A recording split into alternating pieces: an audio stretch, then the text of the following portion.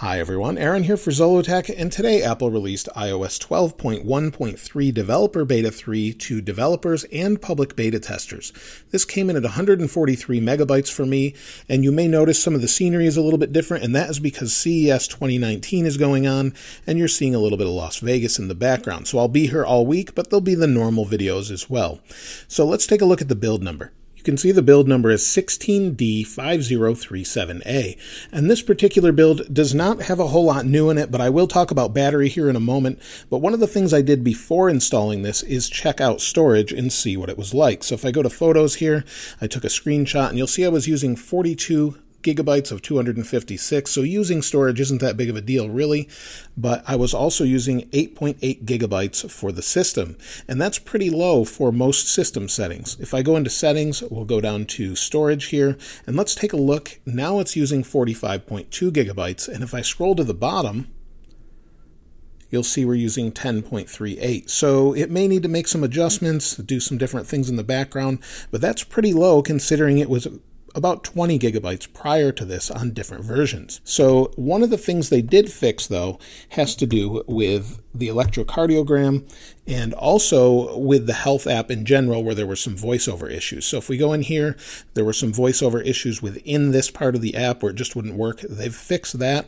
Also on the iPad that you see back here, the 12.9 and 11 inch iPad, they've fixed an issue with some third party apps that had audio problems. So there's some sort of incompatibility that they seem to fix there. Now, as far as speed, swiping and things are nice and smooth. Scrolling, 3D Touch works really well. Landscape works really well on the 8 Plus. So if I grab this one, you'll see we can switch to landscape nice and fast. No issues on the 8 Plus. Now, unfortunately, I don't have my older phones with me because of where I am, so we'll take a look at those later in the week, but everything seems to be really nice here. Now, let's talk about battery for a moment because the previous beta, or beta 2, battery life was phenomenal for me.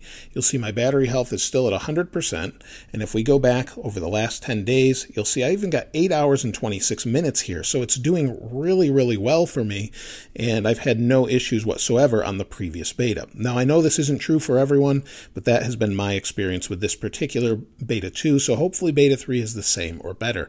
I know for some of you it was really buggy, but hopefully it's better in the future, and it takes a few days to know that, so I'll be sure to do a follow up so you can check back and see how it's going for a lot of other people on the YouTube community poll. Now let's take a look at Minecraft and see how fast that loads on the 8 Plus. Just as a little reference, let me close it here as I was testing some of this out earlier. Let's go ahead and open it up. And what we'll do is we'll create a world and it should be nice and fast. Now I normally use a 5S for this particular test, but since I don't have that here as a reference, we'll use this one and just see what it's like. So we'll wait for this to open here. It may take a moment. Well, that was pretty quick. So we're in and good to go as far as that's concerned. Now let's take a look at the Geekbench scores. So on the iPhone XS Max, you can see the Geekbench scores are 4,821, multi-core is 10,797. Now compared to previous versions, uh, this has gone down a little bit. This is the previous one. If I go back to history here, you'll see that it's gone up and down depending on which one we're talking about. So overall, it's okay. It probably will improve over time. Maybe tomorrow it'll be much faster after it's done doing whatever it needs to do with the operating system or later today. But that's really it. There's nothing particularly new on the surface, just bug fixes and security fixes. And hopefully we see some feature updates with iOS 12.2 and a whole redesign with iOS 13 in June. But if you'd like to get your hands on this wallpaper, of course, I'll link it in the description below as I always do. If you haven't subscribed already, please subscribe and like. As always, thanks for watching. This is Aaron. I'll see you next time.